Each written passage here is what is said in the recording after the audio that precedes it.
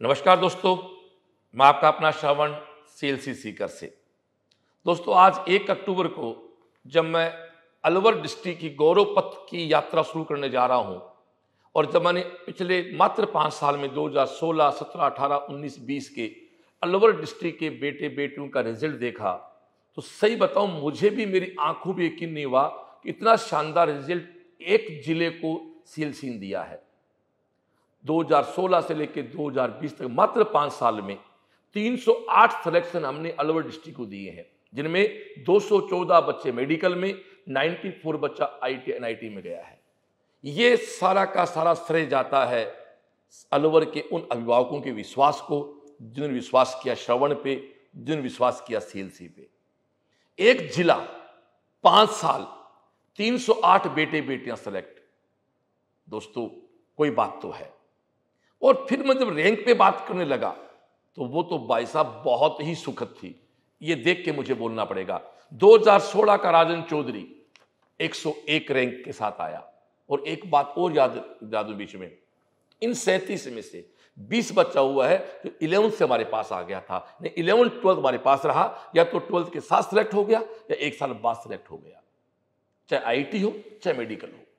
दोनों भी रिज़ल्ट दिया। राजन चौधरी 2016 रैंक 101 जगदीश 2019 नीट की बात कर रैंक 130 है। अनिशा मित्तल 2018 नीट की रैंक 190 सुमन चौधरी बारहवीं के साथ रैंक 414 वंदना यादव बारहवीं के साथ चार सौ चौरानवे। अखिल शर्मा 706 पूनम तंवर 821 ज्योति शर्मा 1035 अश्वनी 1207 निखिल यादव 1220 फिर क्लियर कर देता हूँ, मैं बात कर रहा हूँ ओवरऑल रैंक की नो कैटेगरी रैंक और केवल बात कर रहा हूँ एक ज़िले की, कौन सा अलवर जिला?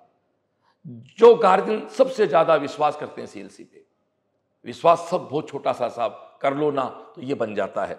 दीपक सोनी, बारह सौ तिरपन। राहुल मेहरा, बारह सौ अट्ठावन नमन जैन आईआईटी एडवांस भी तेरह सौ सात।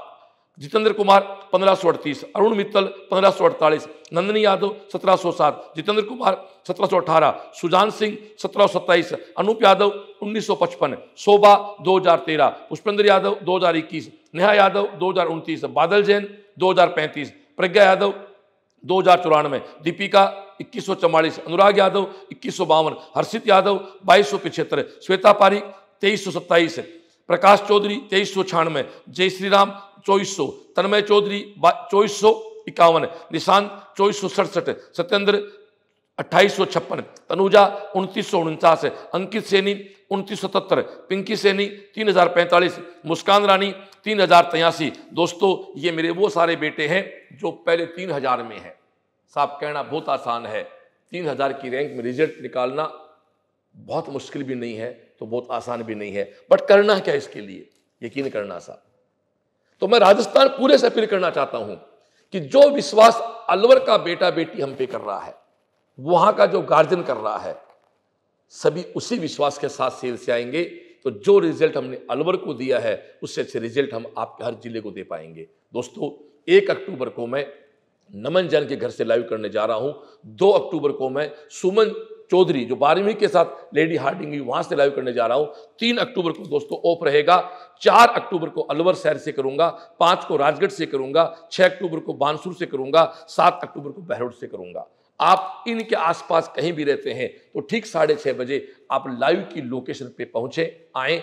लाइव कहाँ से होगा, इन सब की सूचनाएँ सोशल मीडिया के थ्रू आपको समय से मिलती रहेंगी। दोस्तों, सच बताऊँ क्या, मुझे भी यकीन नहीं हो रहा कि वास्तव में मात्र पाँच साल में सीएलसी से इतने बेटे बेटे सिलेक्ट हुए मैंने भी इस पर जो होमवर्क किया तो पता लगा कि रिज़ल्ट है। दोस्तों, कई बार होमवर्क आपको बहुत अच्छा काम दे देता है। लास्ट लॉकडाउन में एक दिन इच्छा होगी बैठे बैठे कि 2019 और 2020 में सारे बेटे बेटियों से कॉल करके बात की जाए कौन कहाँ है? तो एक इतना सुखद आंकड़ा सामने आया। 1725 बेटे बेटा सेलेक्ट थे मात्र दो साल में, चौदह सत्रह मेडिकल में। और दोस्तों, तीन सौ बारह आई 312 आईटी एनआईटी में, जो अपने आप में एक बड़ा आंकड़ा है। बात यहाँ हो रही गवर्नमेंट एमबीबीएस की। तो ये एक रिज़ल्ट था। थोड़ी सी बात बाईस के बच्चों के लिए कर लो। जो भी बेटा बेटी पूरे देश में कहीं भी वीडियो देख रहा हो, दोस्तों, किसी भी कारणवश इक्कीस में आप सिलेक्ट नहीं हो पाए हो, चाहे जेई हो, चाहे नीट हो, सीकर आओ सी एल सी आओ, हॉस्टल में रहो, मेरे साथ रहो, सारी क्लास लो, सारे टेस्ट दो सिक्स पैक लो नाइट कैंप लो असेंबली लो, सफलता तो मेरी भाषा में झक मरा के हमारे कदमों में आएगी। और जो देश में कोई इसको मेरे बच्चे देख रहे हैं तो अलवर एक राजस्थान का डिस्ट्रिक्ट है बेटा, एक ज़िले से केवल एक ज़िले से मात्र पाँच साल में 308 सिलेक्शन बहुत बड़ी बात होती है। सीएलसी सीकर, हमारा हेड ऑफ़िस है। अलवर भी हमारी ऑफलाइन क्लास है। इस बार राजस्थान में केवल दो जगह में ऑफलाइन क्लास है। अलवर भी और सीकर भी। पर मैं खुली अपील करना चाहूँगा, आप सब सीकर आए। इसके अलावा हाँ टेस्ट सीरीज़ भी हम लॉन्च कर दी है हमने।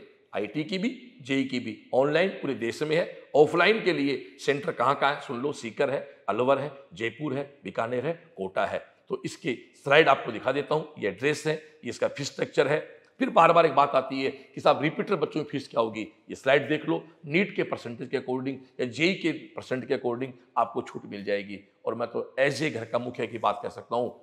कोई भी जरूरतमंद बच्चा मन से सेल से आ गया सेल से उसको वापस खाली हाथ नहीं भेजेगी। ये मेरा आपको विश्वास है। लेकिन जरूरतमंद भी हो, प्रतिभाशाली भी हो और भाव भी हो। तो दोस्तों, क्यों ना अलवर की तरह हर ज़िले से ऐसे रिज़ल्ट निकालें।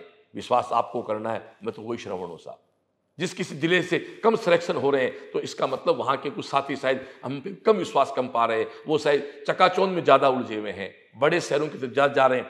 हो सकता है वो प्रॉपर सहजता नहीं पहुँच पा रहे होंगे। ऐसा तो साहब नहीं है कि अलवर में बहुत ज़्यादा कोई बच्चे एक्स्ट्रा ऑर्डनरी हैं। उन गार्जियंस का जो विश्वास है ना वो एक्स्ट्रा ऑर्डनरी है। आपके अपने सीएलसी आपके इंतज़ार में। थैंक यू जय सीएलसी